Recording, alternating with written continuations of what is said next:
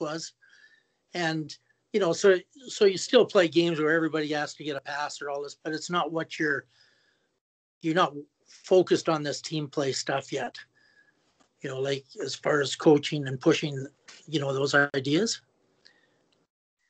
Yeah, and then there's some people that that never become a team player. Very true. yeah.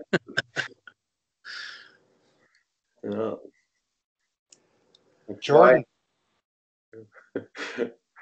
Why I used to ask that question in uh, job interviews that uh, before HR said I couldn't ask it anymore. Uh, and I had to use their script was, uh, if, have you ever played team sports? And if so, what sports? And when I was an administrator at a high school, they always made the mistake of, uh, well, not always, but many of the candidates made the mistake thinking all I was looking for was people who would coach uh, team uh, teams at my school. But no, it was whether you could work with others or whether you've ever had to actually work with others uh, towards a goal. And I get that as a as a college coach from like the police departments or different businesses, you know, and they they're attracted to the players you know they, they get the same qualification educationally but the fact that they've been on a team and had to work for with other people and you know be be part of a team is really important. And and the funny part is there's two questions that i, I think that you could ask. One is uh, where you are in the birth order and, and the other one is uh, if you've ever been a part of team sports and that will tell you a lot as to whether they will collaborate with anyone. Yeah. Rick.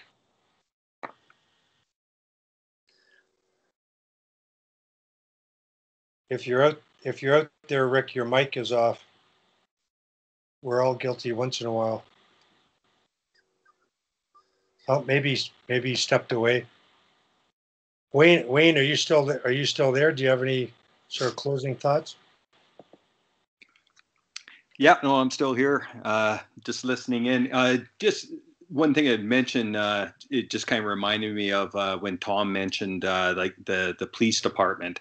Um, I remember the police department actually their recruiters coming when I was coaching at uh, college hockey uh, the recruiters actually came and asked the, the, athletic department to set up a session just so they could speak to the athletes. Um, and it's for that exact re- reason that you were mentioning about you know the ability to to work with uh, you know with a team and work with others. In fact, the Calgary I, I don't know if the, the, if they're still doing this or not, but at that time the Calgary Police Force actually had set up their uh, um, you know their their different shifts as teams. So they had different groups that were working together, and and um, you know, so yeah, it was uh, it was a, a team based approach, and they were actively recruiting um, athletes just because of that uh, that experience. Yeah, nice. Rick, Rick, are you still there? I hope he comes on because I'd sure like to hear what he got out of it. Uh, I I wanted to ask Darryl another question uh, related to the ethics piece and uh, shortening the bench versus managing the bench is what. Well, he was shortening it typically for the victory, and and uh, I think the Maple Leafs are managing the bench very well this year because the Oilers, I'm not sure they figured it out. And I wanted to ask him about the philosophy of the coaching there, where all players are earn, earning roles and playing roles. And uh, I cut out a clip, Tim, and I think I sent it to you and a few others from the News uh, Calgary Herald, where the Toronto head coach was talking about not giving enough ice time to uh, Matthews. And he talked about having a comfortable lead and letting everybody play, but earning, you know, keeping everybody in the game. And, you know, the reality is they're managing the bench and they're getting more out of everybody. Minor hockey, they shorten the bench, kids quit. It's criminal. Like he gets it. He he committed a criminal acts years ago. And he's realizing it now. You can't measure you know, my measurement of the of the impact of that, it's the Cicerello incident, and it's our damn society as a whole not fig- not being able to communicate and figure things out well. So, uh, I don't know. I I'm gonna play with bits and pieces of this. Um, I think I finished up the last one on Dave's. I don't know if everybody's had a chance to look at them. I was hoping Dave would join us. He knew I didn't call him to remind him. I just wanted to see if he would come on. And I, I think I'd be able to convince him but to both get on, but Darryl's thinking is is really ahead of the curve. You know, I, I think I I just appreciate what he's doing, and I I think we see the results by the way the team he's uh, working with. So uh, I'll work at getting them both together, and if if Darryl wants to get on again anytime, he might be a guy who would be a fly on the wall, and we of course would get him to. You know, I'll let him join in anytime. If they have a Thursday morning off, I'm sure he'll join in. But uh, it was really a things happen for a reason. A fluke that Dave got on and a fluke that Darryl got on. So I'm I'm pretty happy with that and look forward to next week. I don't know how we'll be able to top this except uh, just have ideas of things you want to talk about given your your worlds. I think that would be a good idea next week and I'll uh, now that I've had Darryl on, my goal is to communicate with Dave. I'm going to promote his book a lot more than I have. Once he actually sends me the copy, apparently when it was printed, there was an error and it had to be reprinted, so they stopped the shipments. I got it on Kindle. Now, is that a written copy? Well, it's his book on, you know, it's a e e version of it. Electronic. Yeah, electronic. electronic. Well, I'm apparently really- there was a I'm really spelling enjoy- error. And I, the I don't. cover, there was a cover mistake on the cover. Yeah, If you- on the cover. If you Yeah. looked at the it on Amazon, uh, it was missing a word in the title. Really well. Yeah, Easy uh, to easy to fix on the ebooks, not so easy on the paper books. That's a pretty expensive error. yeah. Might be worth uh, a lot in years to come, eh? Yeah. Wally, one thing I might do is I might reach out to uh, Dan Botchner, who's that skill coach I mentioned that he works with all the Russian teams, all the female teams and the men's teams. Yeah. He's in Toronto as well. I was kind of surprised that Darryl didn't really know him. Um, I'm sure he knows of Darryl, and, he might be willing to get on with us at at some point. And I, I think it was actually good that they both weren't on together. Um, it was good to have their own platform, uh, Yeah. but it would would at some point be obviously great to have them on um, uh, together at some point. Uh, be it would be pretty cool. Uh, I'm going to give Tim. I'm going to. Uh, we're sort of. It's really difficult. We have such a cross section here. I'm coming from the minor hockey. Al Ramsey, Al Andrews, Al.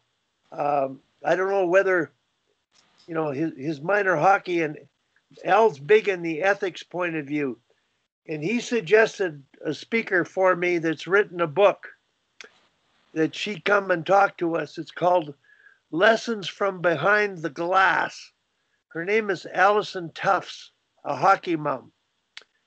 And it is a great book.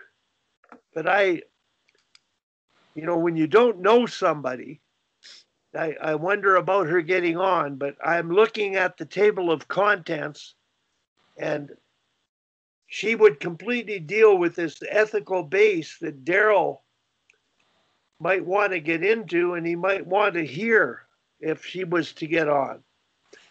So I might experiment with seeing if she would get on and getting Darryl on if possible at the same time. But uh, I mean, I, I love the NHL. I love doing what we're doing and making the game better. But I like Darryl. I, I'm really still concerned about leaving the game in a better place. And I think that getting her on might be something I would do. But it's not something that we're you know emotionally invested in to the degree that we are the game. And with the so NHL, you're missing part, partly that. I mean, that's terrific, Wally. We're all, I think we're all with you on that. And um, two things. Number one, um, if if you manage to touch base with her, and if she was willing to come on, maybe give us all a month's head start, so we can actually get her get her book and read some of it. Uh, that would be number one. Yeah. And the, the the value I would see, like I don't want to have Dan come on just because he's another skill guy, but Darryl's a skill guy, and we got a hell of a lot out of both sides of the equation, Yeah. the technical side and the ethical side, from uh, a marquee coach like Darryl. Dan is sort of in that same category, Yeah. and if he's saying the same thing, it just gives you Yeah. another vehicle to uh, transport your ethical uh, coaching um, mantra on. Yeah. So, like, it, it's all good. I think we all enjoy everything, and um, and Morris would be quick to point out you shouldn't use the word "but" when you're making those statements.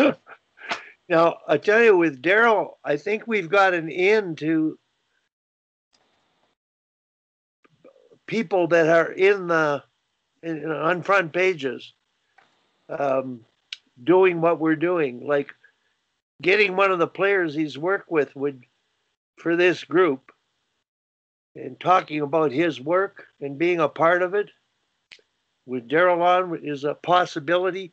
And I don't know what even Darryl's influence with other coaches, whether it's a coaching staff or a skills coach, talk about that type of thing. But there's all kinds of new opportunities that come in. Um, I will mention to Alan to get a hold of this lady, and uh, you you might want to write down the name of the book, and if it's available, I've I've never bought it. I'm gonna buy one. I would buy hers on Kindle. I think behind the glass. If you guys wanted to write it down, just in case, and it's Allyson, A L L Y S O N, T U T F T S. The journey of a hockey mom. And the languaging and everything she's doing, I think, is something that uh, we would identify with. So, I uh, it has it's lessons from behind the glass, and I'm just looking at the the lessons here, the contents, and it's there's some of them that are are pretty good. I I wouldn't mind hearing her speak. One can you the read can you read those titles? Sure. Uh, lesson one is don't force your passion. Your child will find their own. Two is leave your baggage at home. Three is parents see hockey through a different set of eyes. Uh, four, before you yell at your child for their performance on the ice, take a good look at your conduct in the stands. Uh, five is raise a good person who loves to play hockey, not just a good hockey player. Uh, six is nothing in hockey is free, but it's the cost that teaches you the most. Uh, seven is enjoy the ride. The game will be over before you know it. Uh, eight is play through the politics. Nine is your dreams shouldn't cost you your integrity. And 10 is let go of the control. You never had it in the first place. So, I'm going to forward that uh, title of that book to Darryl and just have him read the table of contents because talk about something that would would uh, you know resonate with what he said. He's sincere about what he said, given his minor hockey experience, and um, I'm really curious of the influence on Toronto and whether they're managing the bench, shortening it, managing it, not shortening it, which is what teams get caught up with. And boy, when you have superstars, I'm I'm really amazed because I don't know that it's the best. The best players don't win; the best team wins. They, I, my my quick observation would be, he shortens the bench. He doesn't manage it. He plays he plays those top guys a ton. Yeah. And uh, that's not to say he doesn't try to manage the bottom as best he can. But my quick observation from all I've seen is he, he's a he's a pro coach. He he's trying to win, and he he plays his top players a ton and probably more than more than he should. And just a note on Allyson, she's a professor of social work at uh, Loyalist College in Belleville, Ontario. So for you, Tim, this is a question for another day, likely, but I think yourself and uh, TJ and and others that play positional play in the NHL, um, because I know uh, talking with Clint, it doesn't, it, didn't impact him that much, but we had I had quick conversation with him about it. With the way that the game changed with television and television timeouts, and you look at the use of of your players that you can use uh, those top players more. The problem is you don't use your bottom players enough to keep them engaged because any of us that played in the in old school coaching that that uh, you didn't play as a rookie or whatever, you know what happened when your legs were cold. you were going out there and played like crap. But uh, with Clint, when I was talking with him, it was about in the IHL when he was coaching there, and and guys I know that played there when they had such a short bench and everybody had to play, and it made it better. Uh, they found because uh, it made it easier for everyone to be engaged in it. But it's kind of the question I guess I'd have for guys like yourself is.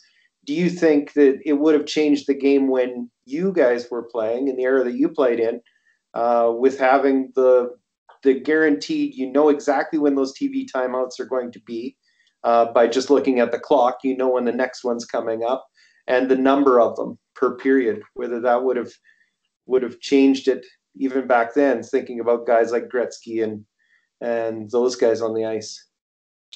I, I think a qu- quick answer would be I, I think un, unquestionably it would have. Um, although, you know, coaching period was nothing like it is now. Nothing. Uh, Wally used the phrase an hour or two ago. You know, back in the day, um, there was a, you were referencing um, video, I think, and the coaches just told it. Back in the day, we didn't freaking have video. I didn't have it when I was in the NHL. Nobody ever showed video when I was my whole career. My whole career, it just wasn't a thing until Roger Neilson really um, I mean, he started it in the mid 70s, but it didn't become a thing. But I think unquestionably it would have. And I think the other thing that plays into that NHL dynamic is that allows the coaches to play the top players more. But players, generally speaking, even though Darryl said they their goals are all over the map, generally speaking, they want to play and be in the lineup, number one. Number two, they want to win because if they're part of a winning lineup, they get to stay in the game longer. So, wanting to win eh, and being heavily motivated to win is more of a, an incentive at that level, I think, than um, than a lot of people realize. So players will put up with more, you know. But there's a point, and and I think Tippy probably crosses that point in Edmonton where, like Wally says, they're not enough of a team. They maybe can't get as much out of themselves because they play too much, those two players. And he's close to that in Toronto too. Um, they play they play those top two lines a ton, irrespective of TV timeouts. But just watching them play, Tim uh, Belfry uh, and I'm not sure what their culture is in terms of bench management, but I'm watching Matthews, and uh, those players, the good, the star players, are playing better without the puck than the Oilers' star players, and uh, yeah, I I think that that's that's all I can go on. You know, I don't know the minutes. All I know is the minutes in the NHL are managed better than the minutes in minor hockey. In other words, they they're trying to win, and that's how you win by managing the bench well with what you have to deal with. Big salaries, egos, you name it.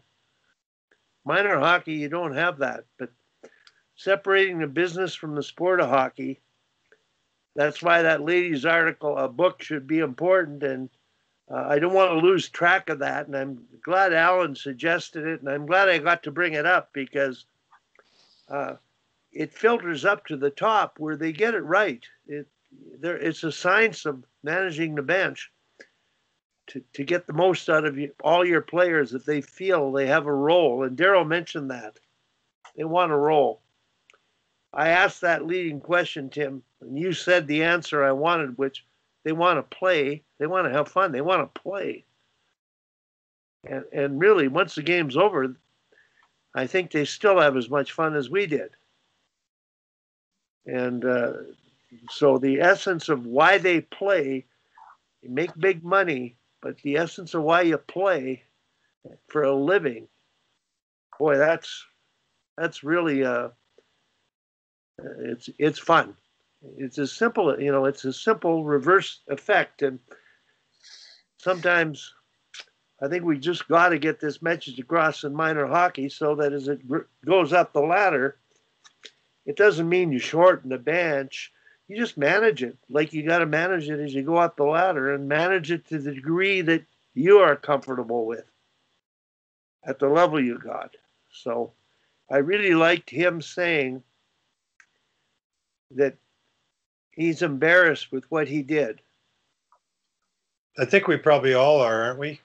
I know I am. Well, I uh, yeah, I did. I did it in football, and I brought the story up where my first year coaching. Yeah, yeah. yeah. I mean, we've all I, been. I wouldn't do it again, uh, and I think it. You, you know, you have your culture, you have your philosophy, and I think you know, when I asked them the question, who's responsible, I'm of course referring to sports governing bodies and and educating coaches, which is what they're responsible for going up the ladder. I go back to what I was taught by an HR person, and I don't like to listen to them very often. Uh, but the one time they were telling me about culpability, and they said if they didn't know any better, they are not culpable. You are as their supervisor. And so then they said that that uh, your role as a supervisor is to make them culpable, that they know better. and if, then if they make the mistake, then we have recourse. And uh, so that's that's the same with this, Wally. When we made mistakes, I think about it as a as a, a student teacher or as a coach. The when I made those the mistakes that I see as mistakes um, were some of them were one. Well, I'm hoping that all of them were ones was I just didn't know better. Now that I know better, if I did the same thing again, then as uh, Darryl said, then I'd be uh, fully responsible. So. No, no I, as long as we don't lose sight of that, uh, with COL, Darryl can get on down the road. And and uh, I I asked Kinger a year ago to join us, and he was doing those NHL casts. He's probably doing two or three podcasts a week. He's trying right to now. write a book too. Yeah, um, I might read his book on Kindle sooner than later. Tim, I sent you uh, a picture of Duthie's book, and one of the most easiest, funniest story of reads I've ever seen. Um, it's titled Beauties. And uh, it's just the reason guys played is in those stories. The the antics, the goings on, the scrapping, the very funny. And there's stories of a few of the women, Cammi Granato and Hayley are referred to in there, telling their stories. Poulin talks about in that book a uh, chapter about about the uh, Wickenheiser and and her influence. Uh, Tessa Bonhomme as well. So uh, Darryl's book. If I don't know, Tim, have you read the every three or four chapters? One of the players he works with writes about what they get out of it and it's that's amazing. There there are, you know, there are testimonials of the work he does and the way they perceive them, and how they appreciated it. And if your players are writing about him like that, the best players, um, he's making them better without interfering with the coach. That to me, you know how I'm always suspicious of the skills experts that come out. They do the work. I'm even afraid of assistant coaches sometimes not being on the same page and uh, you know being all one. But uh, the the role of the coach being supported, the head coach being supported, is huge.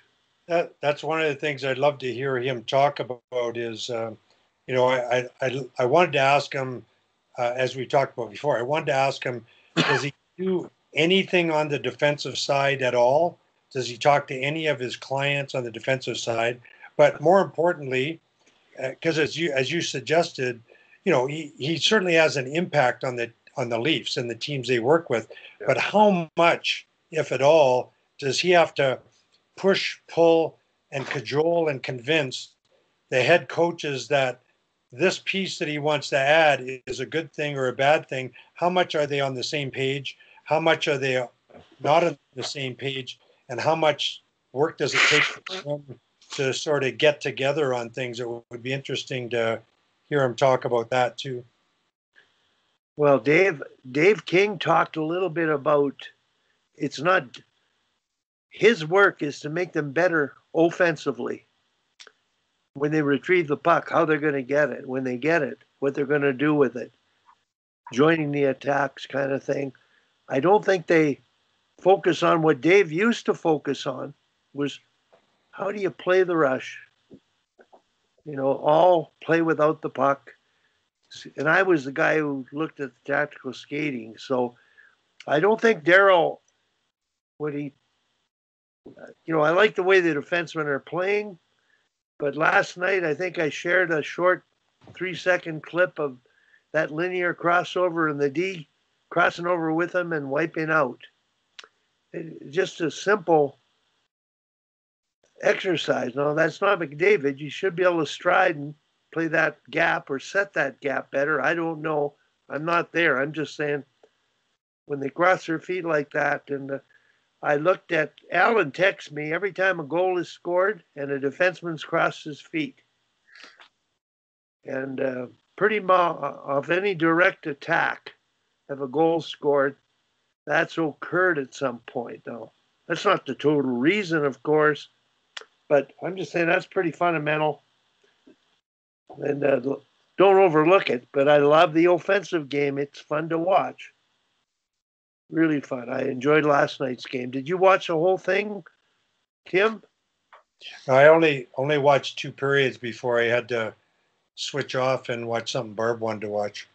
Yeah, I can I can always uh, so don't tell me the final result, but I can always watch the third period maybe today. But um, I still it would be really interesting to know because like that whole hockey sense piece is so important and different coaches have different concepts of how you play the game offensively, and that's what I mean. Like the Leafs obviously are very skilled, but that doesn't mean that everything that Darryl thinks they, they should do or wants to do with the players, Sheldon Keefe thinks is great. There's going to be some differences, and I would love to get some insight into, you know, what does he think about that, um, and and how how that piece happens. Uh, how do they get on the same page? Yeah, I had written that down to be more specific with questions on them. I, I one thing I wanted to bring up, and when Jordan came on, and I we went on another tangent.